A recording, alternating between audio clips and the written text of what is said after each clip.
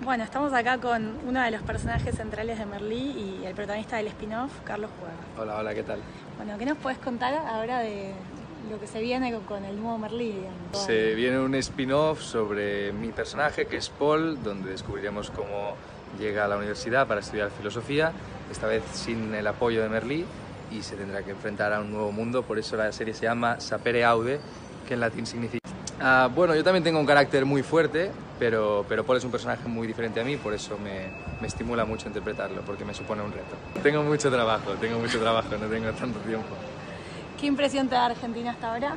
Fantástico, maravilloso, una tierra preciosa, con una gente espectacular y estoy disfrutando mucho, esperando. Ya todavía no me he ido y ya quiero volver. ¿Te ves viviendo acá como Albert?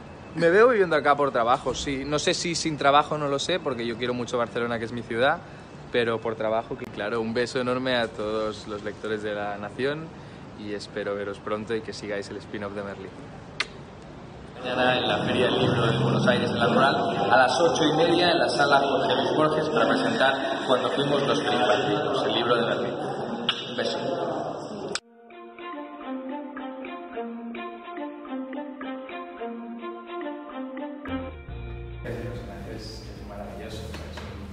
Personaje que estaba destinado a dejar los estudios y a, y a trabajar como lo hizo toda su familia y las generaciones anteriores, pero que la llegada de Merlí eh, hace que se, que se replantee su vida y que apueste por, por la filosofía, que es algo que se le da bien y que además le interesa.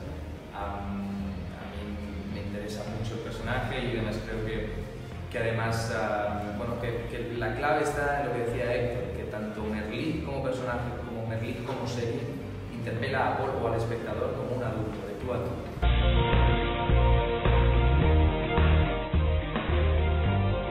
Bueno, la cultura es edificante ¿no? y, la, y la educación es, es básica para la formación del espíritu crítico del, del ser humano. Entonces, a- am, lo mejor que hace Merlí es trasladar esta idea a, a sus alumnos. ¿no? El final de la serie es, sale sobreimpreso en pantalla, ¿no? que, que una cosa sea de una manera no significa que no se pueda cambiar.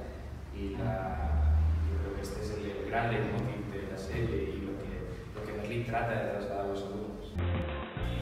Hola, mi nombre es Carlos Cuevas y donde está la cultura está Canal. Mi nombre es Héctor Lozano y donde está la cultura está Canal A. Cinéfilos, les esperamos mañana en la Feria del Libro de Buenos Aires para presentar el libro de Merlí, la novela de Merlí. Vamos a estar a las ocho y media en el pabellón Jorge Luis Borges, en la rural, así que os esperamos. Es el, pasar el testigo a Paul y decir, ahora atrévete tú con lo que yo te he dado y sigue tú solo.